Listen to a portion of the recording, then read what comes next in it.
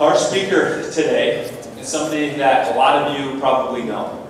Um, it's an awesome guy and someone that I have a ton of respect for. Um, a few things just to note about our speaker is that he's been a football coach for over 45 years at both the high school and the college level. And he knows pretty much every single football coach across the entire state and the network that he's built and the connections he's made through uh, football coaching is impressive. He's been married to his wife for 48 years. He's the father of two, grandfather of three. Really cool fact, or just in, uh, thing about our speaker is that he has had cancer twice, and he's beat it twice. And he's currently serving the Lord by being on staff with FCA here in northwestern Wisconsin. So I'm really excited and I'm thankful to be able to introduce you to my friend, Bob Lichty.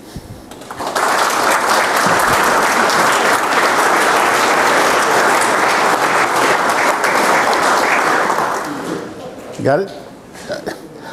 How many were at the uh, church dart ball banquet the other night?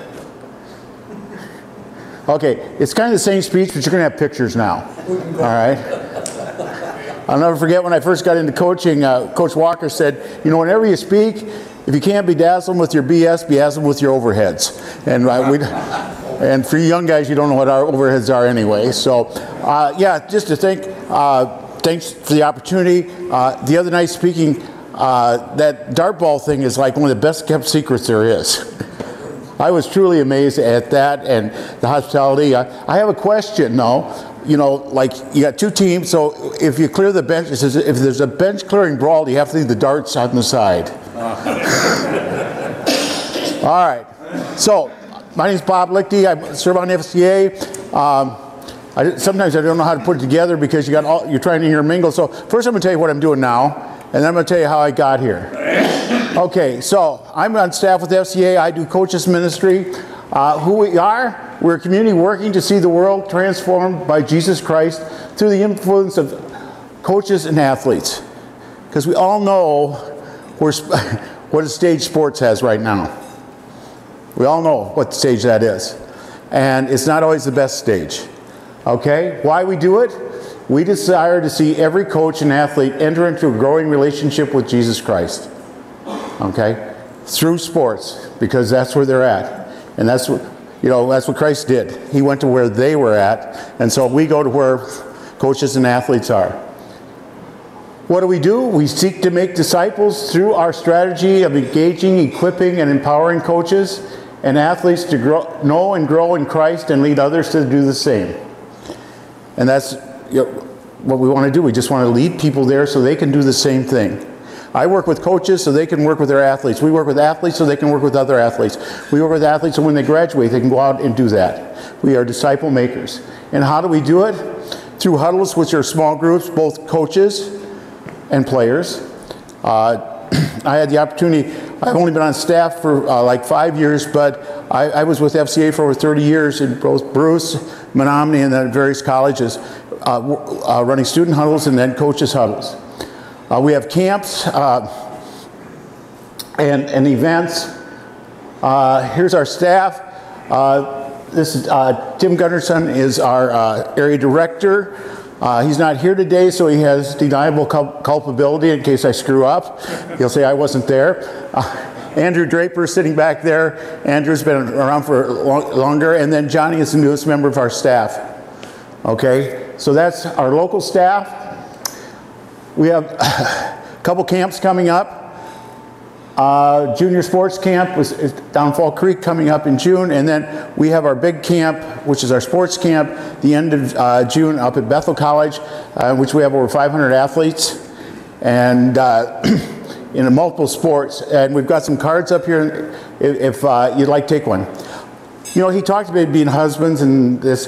How many grandfathers do we have in here? How many great grandfathers? Okay, you are one of the biggest influences in your grandkid's life. Okay? You are probably the, the biggest influence as far as their faith. Because somehow it's getting skipped over. And if you're not answering that call, then you're, then you're not answering Christ. You have to step up with your grandkids. Sometimes you have to step up in a place and invite them places that they're maybe not being invited to. And I'm going to talk a little bit about that later with my own grandkids. All right. So, uh, through events, huddles, uh, this was down at uh, National uh, American Football Coach Association. We have a, a breakfast there. Last week we were down in uh, Madison for the state football. We had a breakfast there. Uh, Jared Abadera spoke, and it's a, it's a way of engaging coaches. Okay, here's a free meal, show up. And uh, there's our huddles. That's, uh, that's our football huddle at Stout that I work with. Uh, we get about 30 guys. Uh, the new Rob Erickson, who's the new coach here, when he got the job here, he came from South Dakota, where John Stiegelmeier is, and he made a call. Hey, I hear what you're doing in Stout. We'd like to do it here at Eau Claire. And I said, well, I don't think Clay would be real happy if I came over and started your huddle, but I'll put Johnny on it. So Claire now has a huddle, and Rob is doing that. So those are the things that are going on with, with our huddles. And uh, plus all the huddles that we have out in the schools. And that's where uh, uh, Johnny and, and Andrew do a great job of working with the people within those schools to keep the huddles going. All right, life rope. Every year Keith would come to me and he'd go, uh, we need some speakers. All right, who, who can you get? All right, well, this life robot talks about average eh, age of men now is like 76, the average, and most of you have beat the average here. Anyway, I'll be 76 in September. So Keith came up to me this year and he goes, Hey, I need a speaker this year. And I'm going, Well. No, no, I want you. See, Keith knew this. This is one of my last chances. You know, next year it's a, it's a 50-50 goal. So that's why he had me here this year, and I'm really glad that he did. But, you know, that's our life rope. We, we start here, there's a beginning and the end. But this is really what our rope looks like. All right? I don't know, but mine does. My rope is like that. It twists, it turns, it's, and I'm going to talk about that today, and there's knots in it, okay? But that's what life is about. It's not that straight 76 years. And that's what got me here. It's those twists and turns and everything else. You know, as I look around the room, I see people, I'll talk about Mike Ritlin helped me get through grad school at Stout in 1975 with Evelyn Reimel, because she would never let me graduate. But he and Jerry Davis got me through. Okay? So, Jeremiah 29 11, for I know the plans I have for you, declares the Lord. Plans to prosper you and not to harm you, plans to give you hope in the future. And sometimes God does good things in our life to get us going. Sometimes He gets us a job so we can get the next job. Sometimes He just blesses us. But then sometimes, this isn't biblical, but I believe it, thank God for the broken road that led me back to you. And that's probably been more of my life, because I'm kind of a reluctant learner. You know, God had to do a lot of work with me. You know, a lot of times He blessed me and I just didn't take advantage of it. So He had to do things like this. So, this is my mom and dad. Uh, this is at their 50th uh, wedding anniversary. I I'm going to jump ahead. I'm the oldest of nine, so yes, I am Catholic, and for the evangelicals, we are Christians. uh, but at their anniversary, I, when I spoke up to speak, I looked around, we've never had a divorce in nine. And I attribute that, and I don't know why, other than that, what they modeled, being together that long. Now, they died shortly after, but they just did that. You know, and it wasn't easy. My mom is Irish Catholic. All right? She, uh, she's fiery. My dad was a member of the uh, Brethren Church. He converted because my mom was Irish Catholic, which and also explains why my grandma rarely spoke to my mom the rest of her life.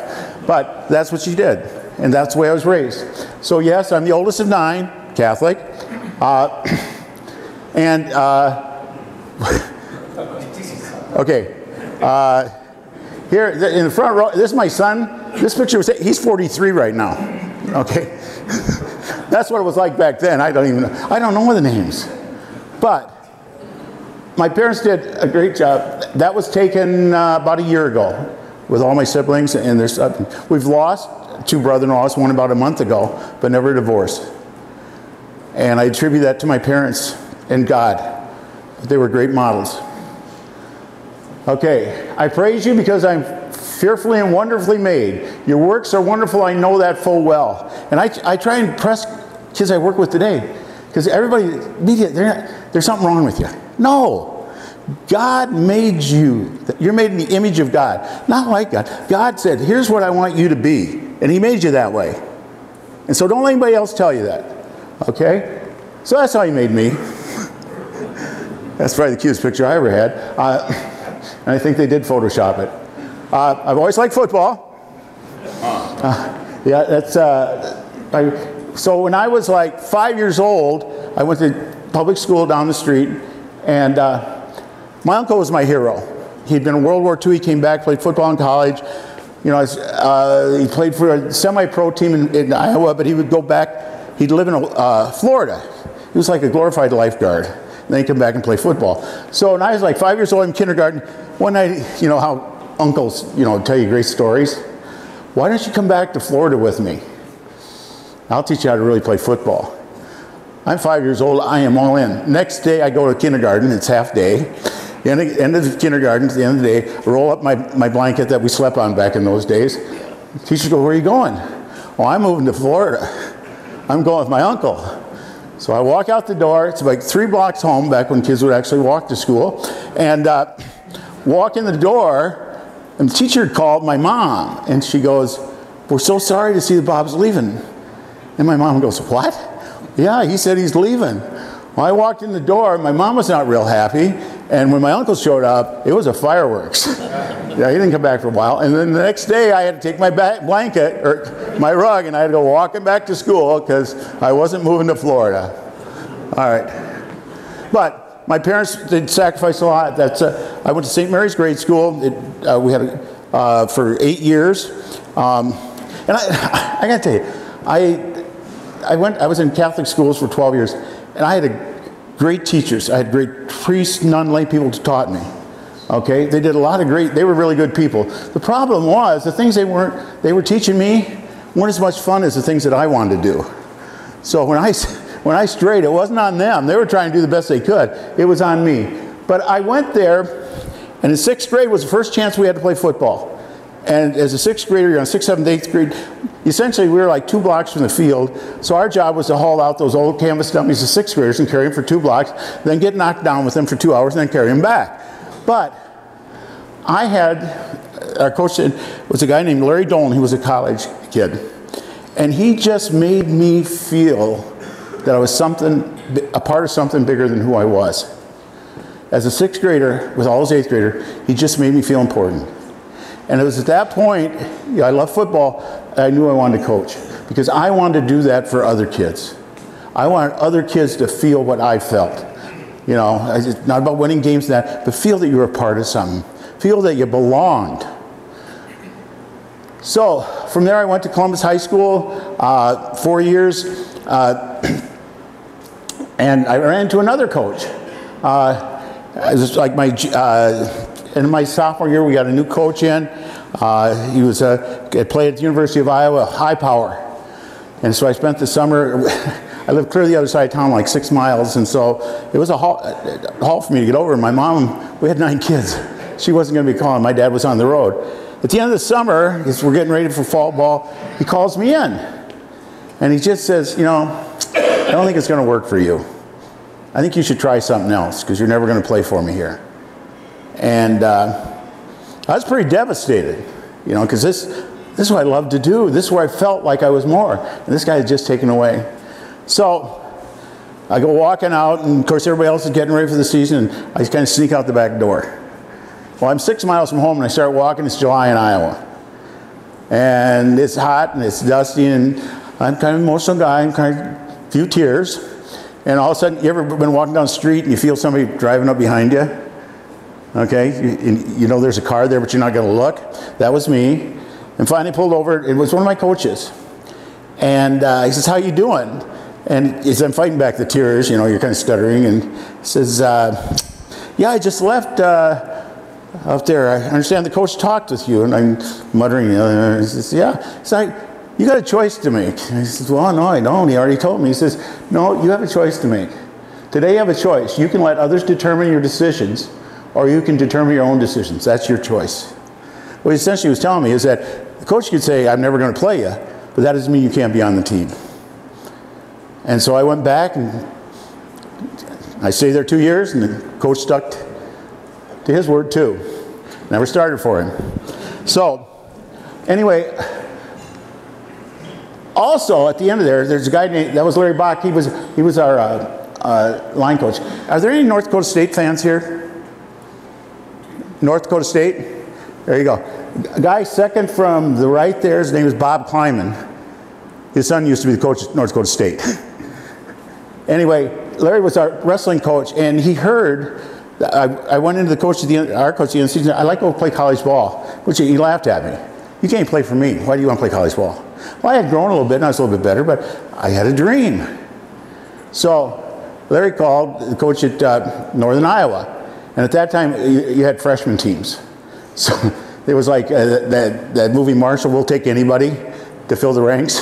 And so uh, I went there, and the, uh, Dennis Remmert let me get on the team. Well, as luck would have it, you know, I'd gotten bigger, I'd gotten stronger, and the guy in the back row, the, our second last row before I right, was this scholarship kid. He gets hurt. Well, they got nobody else, they got to play me. And so I had the opportunity to play, and I, I was really pumped up after that. And, um, you know, went, went through the season, I got a chance to play. I was really excited. Went into the spring, okay, and, and was really excited about it. But also, uh, getting back to my parents, both my parents were in the Navy in World War II. You know, for those generations have changed. Like my aunts and uncles, 80% of them were in the service. My generation was less. The next one is even less, which is a problem we have when people don't know how to serve. But my parents were in, and so the time came that summer. Um, actually, uh, it was uh, like summer 1970. Uh, each of us should use whatever gift he has received to serve others as faithful stewards of God's grace in various forms. And I just felt that it was time to go in service. And so I did. All right, now if you believe that, you'll believe anything. What happened was when they at the spring ball, the coach says, uh, "Scholarship kids back. You can come try out in the fall." All right. The other thing is, I was an offensive lineman, and we sometimes make up things in our mind, especially our relationship with women, like they're better than we are. So at the uh, probably at the end of my freshman year, the girl that I thought I was dating, and that through high school, and that called me and said she was joining the convent. So the, between those two things, I thought the only thing I can join the army. So that's what I did. For I know the plans I have for you, declares the Lord plans for you to prosper, not to harm you, plans to give you a hope and a future.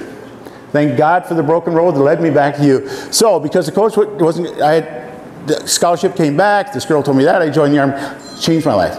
Okay? So, uh, I ended up going in, it was, uh, I actually had celebrated Christmas twice that year.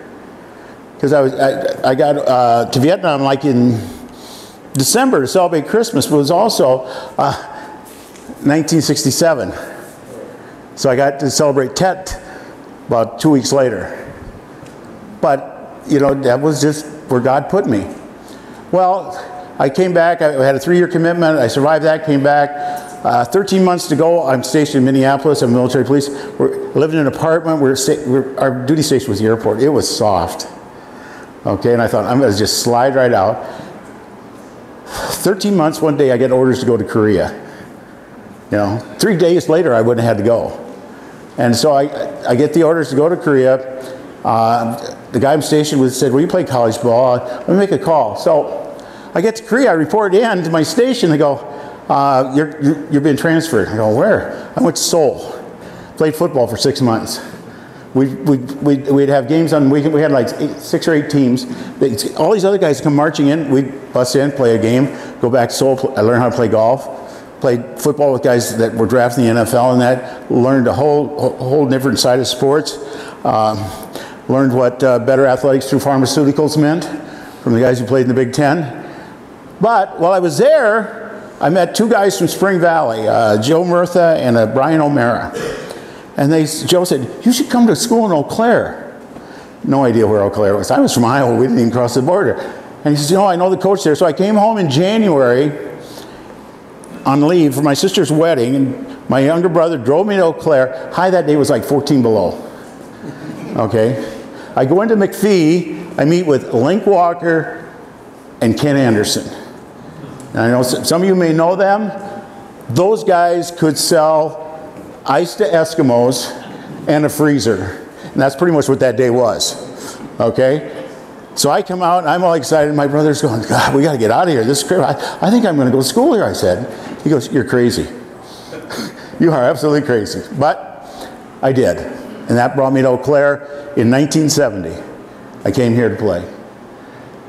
God, I was better looking. I even had hair then. And uh, I wrestled too because I wrestled in high school. So after the football season, the wrestling coach was a D-back coach. He goes, uh, "We need a heavyweight." I said, "I don't really want to wrestle anymore. I'm good with football." He says, "If you come out for wrestling, you can be heavyweight. You don't have to cut weight, and we travel every weekend to get free buffets." I had no money, so I went out for wrestling. Uh, met great people. I mean, that's the great thing about sports. That's the positive side. You're part of something. You make friends for life, people, and not just friends, people you can count on. A friend loves at all times, but a brother is born for adversity. So, guy in life, his name is Tom Bauer. Tom was uh, played at Grand. He was our quarterback. Uh, he took pity on me, you know, because that's who. Uh, he just took me in in 1970. He took me deer hunting. Okay, and I think he, he took me because he liked to shoot deer and he needed somebody to drag him for him, and that was me. that was me. And uh, but he, he was just he's uh, people who know him. He's just got a great sense of humor. He just he is a he taught me always to have fun. Okay, guy on my right was my younger brother Jim, not the one who drove me up here, but he had been at Western Illinois on a track scholarship. He was actually the athlete in the family, and transferred up here. And he was like five years younger than I was, so I really didn't know him that well when we were growing up, with nine kids in the family and being that much older. But he came up, he graduated from Eau Claire. Uh, we had a chance to coach in Wausau together. And he, now, as my brother, is probably the closest brother I have. Okay? And so, and Tom is still my best friend 50 years later. But if people would know Tom Bauer, everybody in the room would say that he was their best friend, because that's how he treats everybody. So, we are the luckiest guys in the world to still be playing a kid's game at our age. We were in our 50s when Tom, we're, we're out road hunting by then because we're not going to crawl in that swamp anymore. Anyway, he goes, and it was. We just had fun. You got, if you don't have fun, don't do it. You know, he wants ball games, we want some ball games, but if you don't have fun, don't do it. I also met this lovely lady. All right, I go to these church things, you know, our FCA things, and people, where'd you meet your wife? Oh, met her Bible camp. Met her at uh, youth group. Uh, met her at uh, some event. Where'd you meet your wife? Shenanigans. hey, it's lasted 48 years. I'll take it. I'll take that over Bible camp any day. Anyway, so met her, and then I finished playing Eau Claire. I coached a year, and then I wanted to do my master's. I wanted to coach, but I didn't want to be a classroom teacher. I didn't, that wasn't for me. So what I do, I went out to be a guidance counselor. Uh, worked with staff down there. It was different, but it really taught me some things. And then uh, married her. Only an offensive lineman would think a guy 245 pounds looks good in all white. But that was us. Uh, Husband loves your wives just as Christ loved the church and gave himself up for her. And that's a process. Because I don't think, you know, I didn't start out that way. Okay? I started out a lot of different ways. We all do. We don't understand how to love our wives. You know? Never criticize your wife's decisions. You're one of them. so don't blame her. Okay. But the secret to a successful marriage transformation, and uh, the title of my talk was just tell me what to think. So this is what I feel is the key to a successful marriage. When we first got married, I just go, this is what I'm going to do. What are you up to? You know? And that doesn't always work so well. So then I kind of went to, this is what I want to do. Okay, this is what I'd like to do. And that still didn't work well. Okay, let's decide what to do. All right? There's only one vote, but we, we think we're still there, and that, right? So, what do you think we should do? you know, let's, let's cut to the chase, and then, okay, tell me what to do. Just tell me what to do. Make it easy. But still, it wasn't working until we finally came to this. Just tell me what to think. let's, let's just get rid of everything else. But what I really learned from this, isn't this our relationship with God? Isn't this how we get to transformation? Isn't how God transforms us just till you transform how we should think, how we should live? Okay? And you know, that's, that, that's what I found is at the end, Lord, I pray, just tell me what to think. Guide me in that. That will guide me in everything else. Because I sure did a lot of that other transactional stuff when I, you know, with God, till I got here. All right, when I left there, I went to Wausau Newman. Uh, this is Buck Grundy. This is old school, uh, once again, Irish Catholic, Joliet, Illinois, head football coach, head wrestling coach, head baseball coach. And he says, you know, when I coached, we had no money, you know, and I'm, I'm, I was actually interning. Mike and Jerry got me this thing where I, I could intern. Well, they didn't have enough money for interns, so I also had to teach freshman religion, and none of them left the church while I was there that I know of. Anyway, we, uh, I, Buck was that guy that just loved on kids. You know, we throw love around a lot. He did. And he could be, you know, he could, he could cheer, cheer them out, whatever, but he loved on kids. And he taught me that. You just gotta love them. You don't have to like them up. You don't have to like, they're gonna screw up. They're kids. They're gonna screw up. You just gotta love them. All right? And so that's what he taught me. From there I left. Uh, I went up to a small college, Mount Senario College. Not even there anymore. And this was Bruce Stewart. He was from, he was from Ladysmith, went to La Crosse, came back, and it was through a series of events. He got hired. The head coach left. This guy named Thomas Dell in August. He calls me because I'd worked at camp, and he says, "Hey, you want to come up?" I went over for a visit. Went home. We were living in Wausau. I said, "Hey, I just took the job at Mount Senario." Dead silence. It's like we got two kids. I'm gonna my wife from Wausau to Ladysmith, Wisconsin. You know, she comes over on a visit. Uh, I find this place we can live, uh, which is right next to railroad tracks. She's not living there, and took her out to eat, and and, and the restaurant I took, the kids used to call um, Fat Audrey's uh, Choke and Puke. That's where we went to eat, and so my wife just got in the car and says, "When you find me a place to live that's a lot better than this, I might think about moving here." But she did, and but Bruce was that guy. He he was from Ladysmith, but he could he loved kids. I mean, we recruited a lot of kids from Florida, a lot of minority kids, and they loved him because he loved them. He was that guy.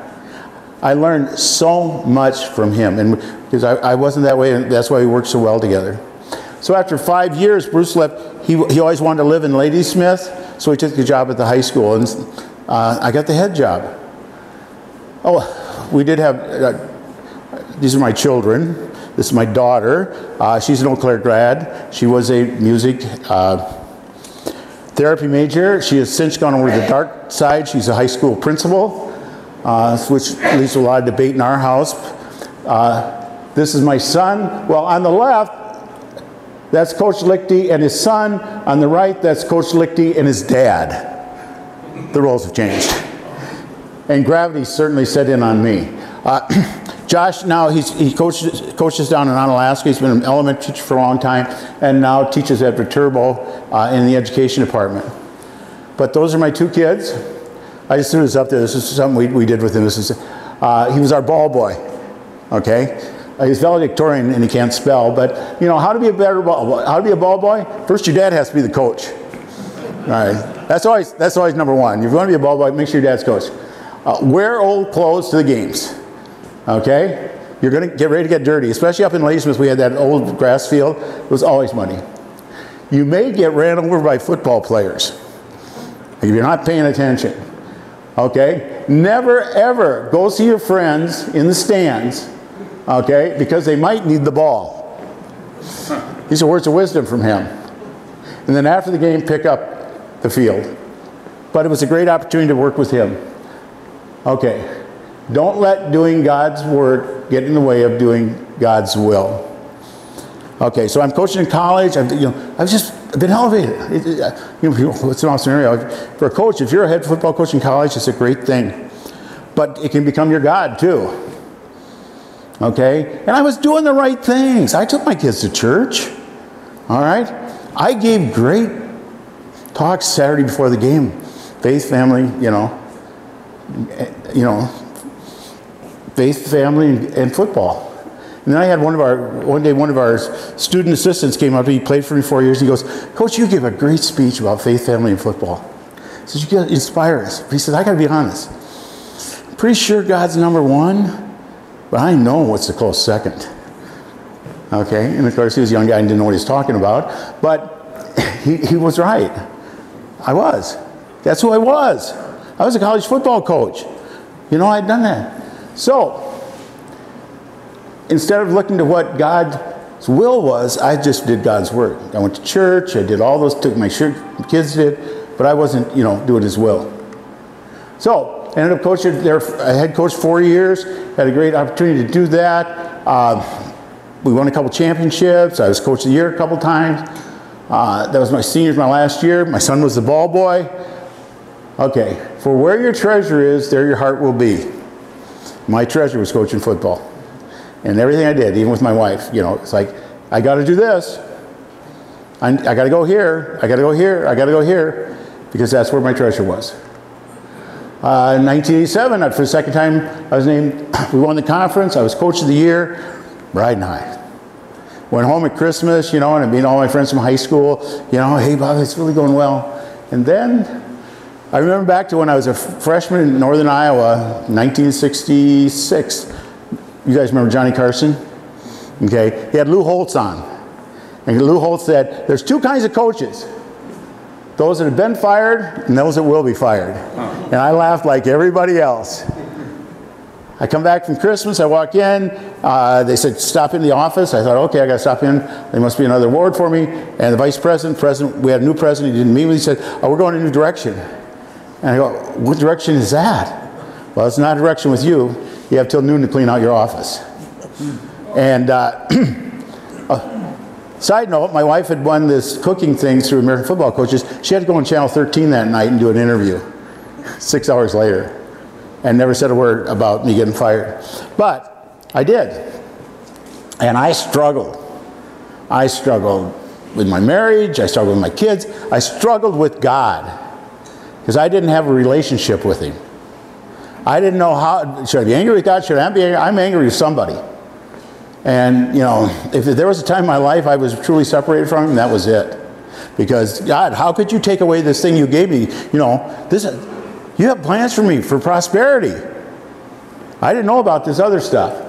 So, for I know I have plans for you, declares the Lord, plans to prosper you and not harm you, plans to give you hope in the future. I didn't see that right then. I did see this. So, anyway, a friend of mine, coaching Florida, says, You got to go to San Francisco, go to American football coaches, you'll get a job. And of course, that's what I need to validate. I need to get another job.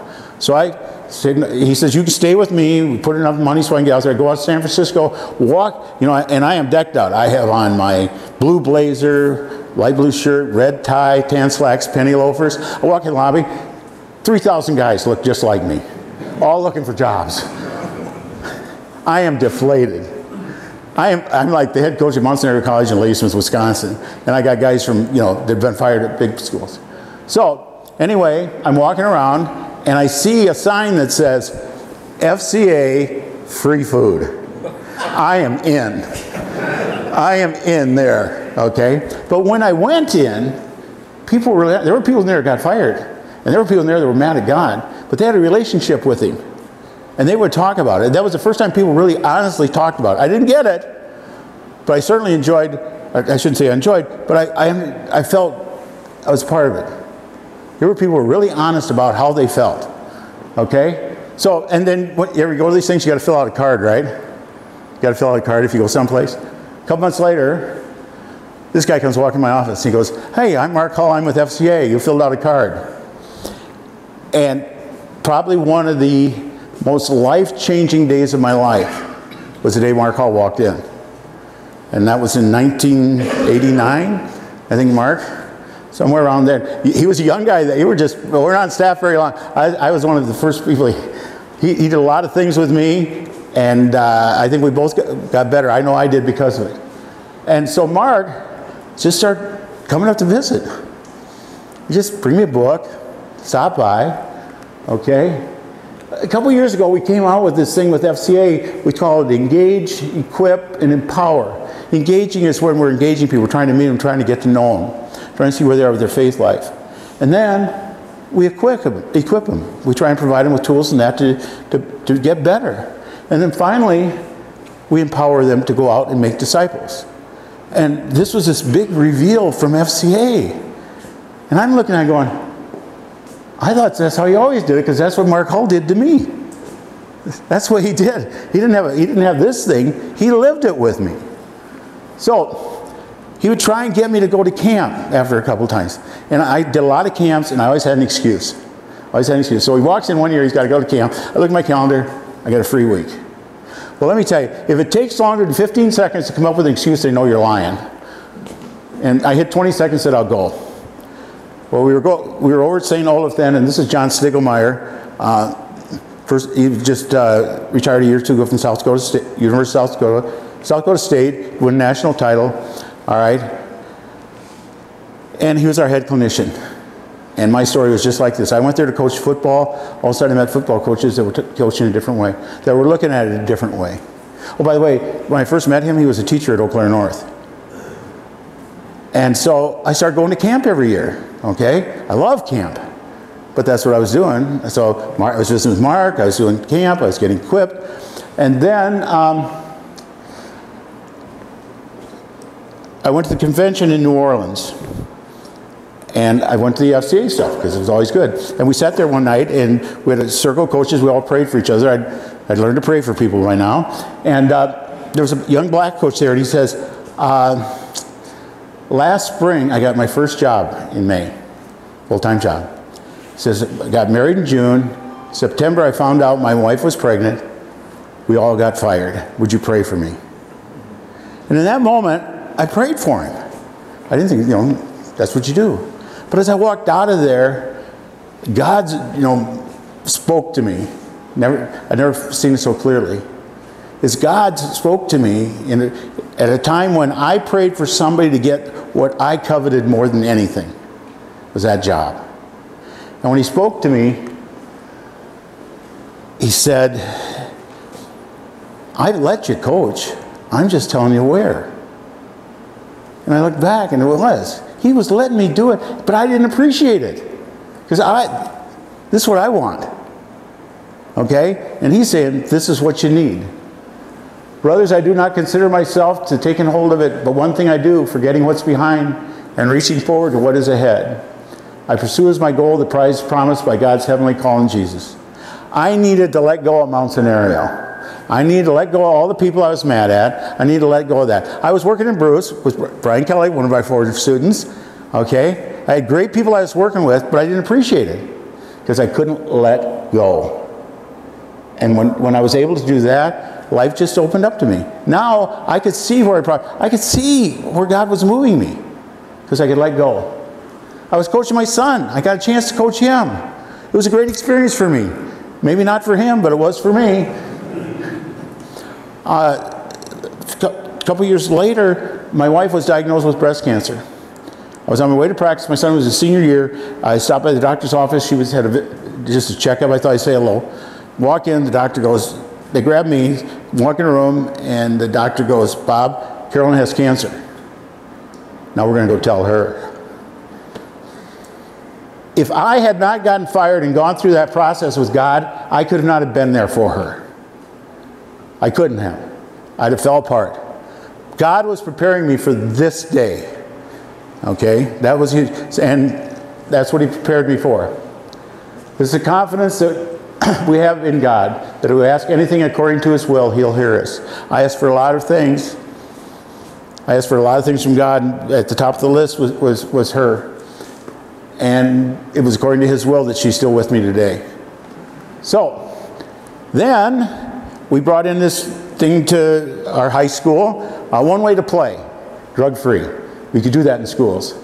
And at the end of the thing, um, four kids walk in. One was Adam Sturgis, his dad was our minister. There was uh, Garrett Gerber, Sarah Minoski. So two Lutherans, two Catholics.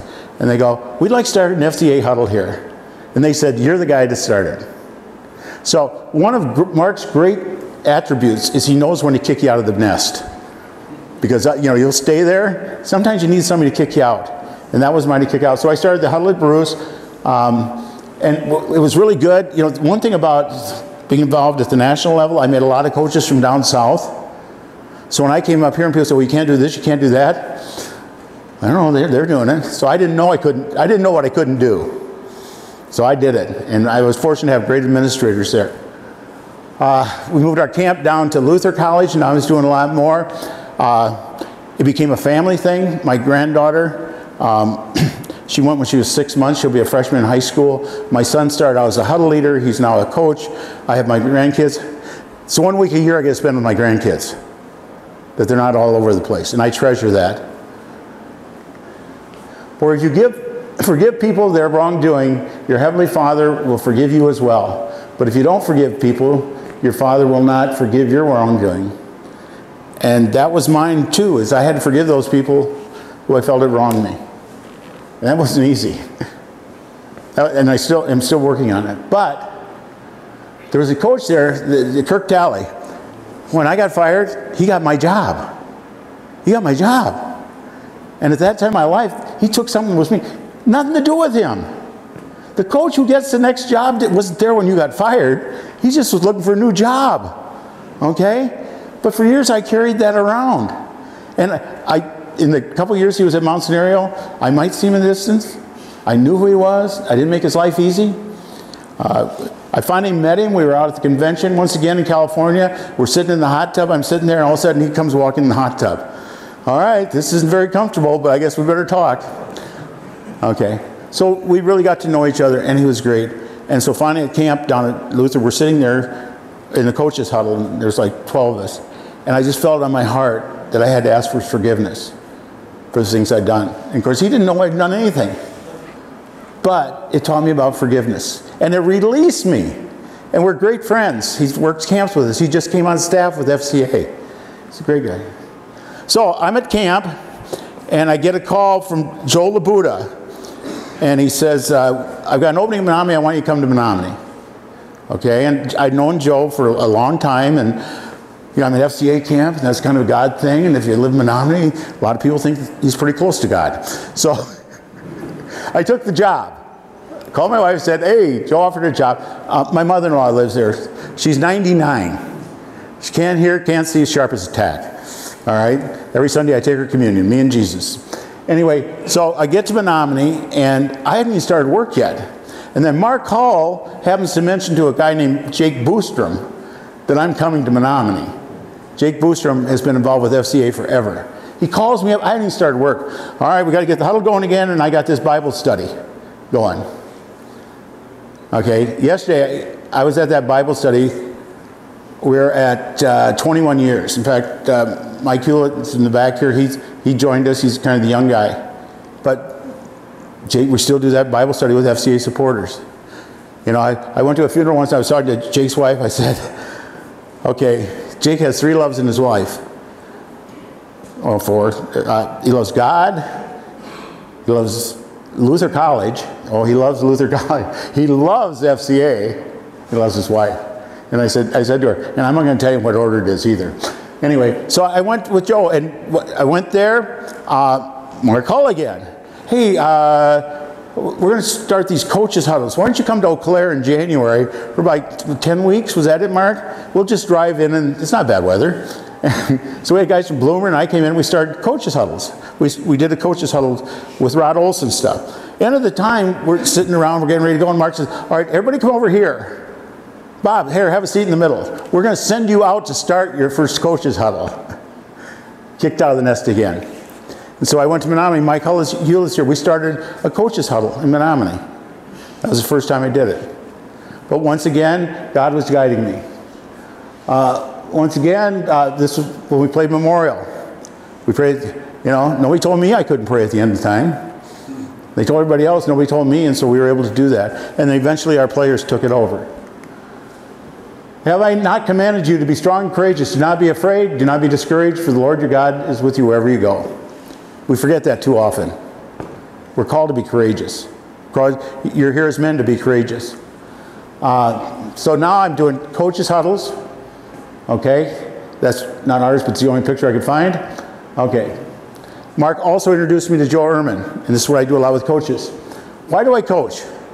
You know, I told you about the people who influence me. Why do I coach the way I do? And sometimes we have to look at those people who influence, because I, I remember I had a kid up in, in, in um, That transferred to Eau Claire, and so he's playing for Link, and uh, Link and I always didn't agree, but anyway, I, I talked to the kid one day, and I said, how's he playing for Link? He said, I just closed my eyes, and it sounds just like you. yeah, I had to change my ways. Anyway, but uh, they, we do. We're influenced. What's it like to be coached by me? Okay, what do people feel? Am I getting through to them? And then how do I define success? Okay, and Joe Ehrmann says, I'll tell you in 25 years. Oops, what did I do? Let me, I'll tell you in 25 years how you did. Um, those two guys with me there, those are Buck Grundy's sons. They both played for me in college. Kevin's on the right, he went in the Hall of Fame as a coach. He was a longtime coach over in Wausau. Uh, these two guys played football and basketball at Mount Senario. One's Dan Witter, and the other's Blaine Sen. They're both in the Hall of Fame for, as basketball coaches. I had the opportunity in the last two years to see all those guys go in the Hall of Fame. And they're great fathers and great husbands. Oh, my grandkids. That's my granddaughter. She's, she's my favorite. And I don't care if these two know or not. Uh, this is my son Kenny. He's a freshman here at Eau Claire. He's like every other grandson. He didn't show up today. Um, that's his brother Isaiah. He's from Ethiopia. Okay. Uh, it's funny. When we got him, he was like five years old. Uh, I don't know, maybe six months later, Kenny was pretty young too. And I hear Kenny's introducing his brother or somebody. No, they, they hadn't met him. He says, "Yeah, this is my brother uh, Isaiah. He's black and I'm white." I guess you, at his age he could get away with it, but he did. And so uh, Kenny is, is, really involved here with AIA and, and with the huddle. He's a huddle leader at camp now. He started out in camp. Isaiah comes to camp, and then Zoe. So, keys to your grandkids. Every time I, I've coached my whole life, here's what I ask my grandkids every game. Did you have fun? First thing I asked them, did you have fun today? Why didn't you? I was worried about this. No, don't tell me what you're worried about. Tell me. Did you get better? Did you get better? Practice, games, whatever. Did you just get better? Okay? Did you help someone else get better? Did you serve somebody else on your team? Did you help somebody else get better? It was about you. And then finally, did you honor and glorify God? Well, how do you do that? Because God created that. Have fun with it. God gave you an opportunity to do something you love. Have fun with it. Get better with that. Help somebody else. Be a serving leader. That's how you honor and glorify God. Then they go, Grandpa, don't you want to know the score? And I guess I have to ask. Uh, I didn't know grand dogs were a thing. I never had a dog, did not know a grand dog, you know, and you know, it's like, and then when they go away, you got to take care of their dogs. You know, if I want a dog, I get a dog. But I got three of them. And of course, my lovely wife there is like, she talks to dogs on FaceTime. Like, when are you going to come visit? We lost those two, but this one is, you know, and of course, just like grandkids, bad habits. You know, they go home, the kids. So, anyway, I retired from Menomonie. Uh, had an opportunity to go to Eau Claire, or to Stout, coach there a year, get back in college coaching. Had a great time there. Uh, got a call that next summer from Todd Glazer, who was coaching at Eau Claire. Then he goes, Bob, um, I'd like to talk to you about a job. And I said, I got a job. I only got to go six blocks to work. Well, just come on over. And then he goes, you know you graduated from here. You at least have to come over. So I went over and I talked to, Mark, to him and he said, Bob, I'm going to be honest with you. He says, we don't win this year, we're getting fired. He says, Bob, we're young and stupid, we're getting fired. But he says, I want to do something different.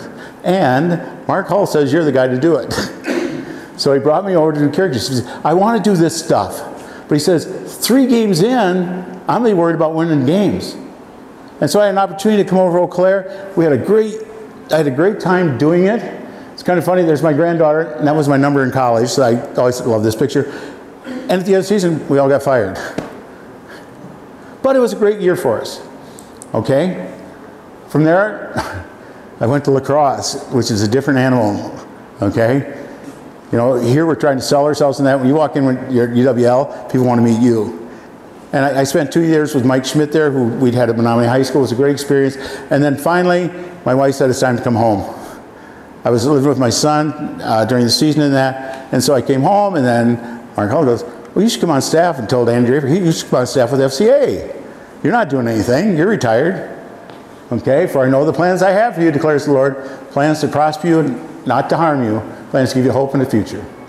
Thank God for the broken road.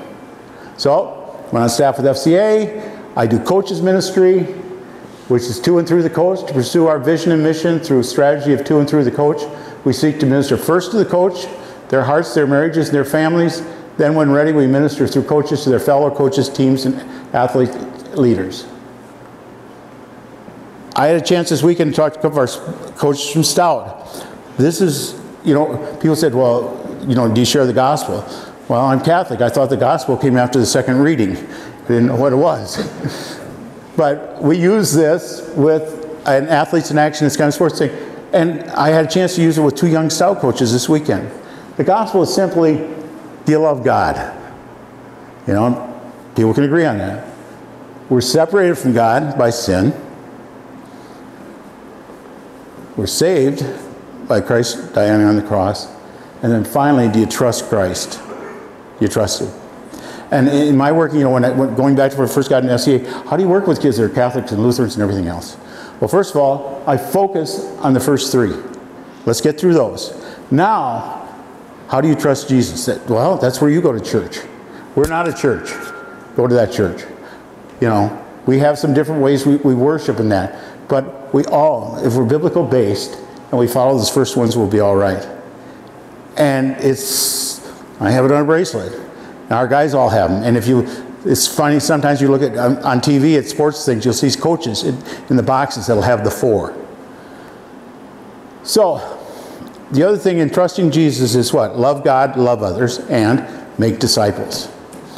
And this is my thing. It's not badminton like Andrew Draper would tell you. It's be a disciple maker. So everything I, all my stuff has BADM. And I have a bracelet with that we give her. I don't want to just have our players become disciples. I want them to become disciple makers. I want them to take that out with them.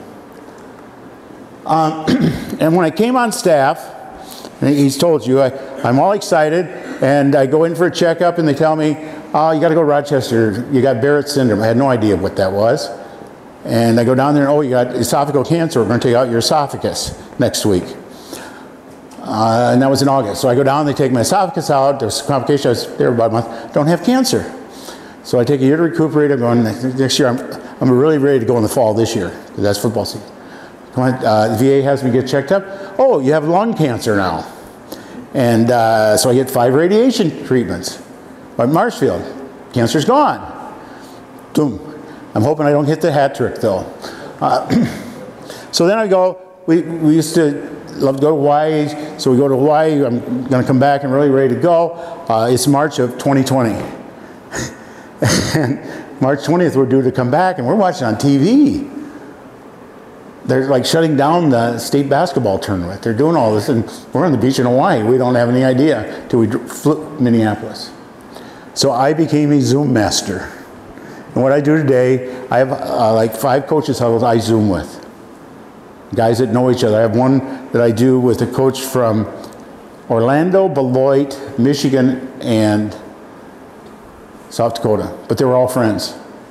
So we meet once a week. I have a couple in person.